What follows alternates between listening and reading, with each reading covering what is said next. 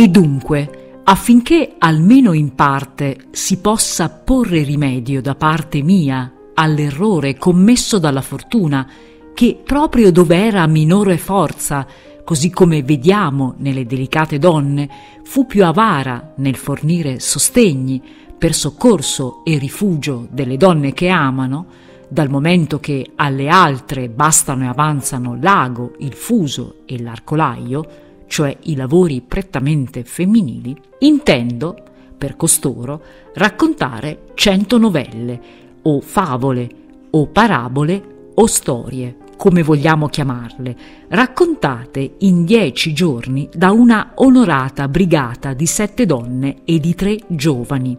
costituitasi nel tempo della passata pestilenza e della mortalità che ne derivò. E intendo raccontare alcune canzonette cantate dalle donne di cui ho detto per loro divertimento.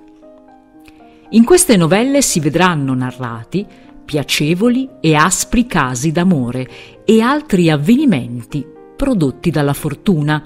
avvenuti sia in tempi moderni sia antichi.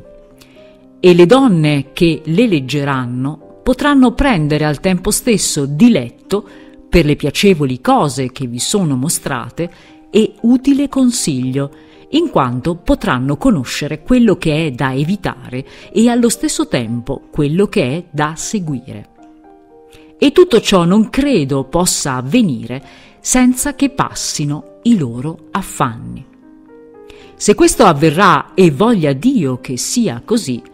le donne ne rendano grazie ad amore,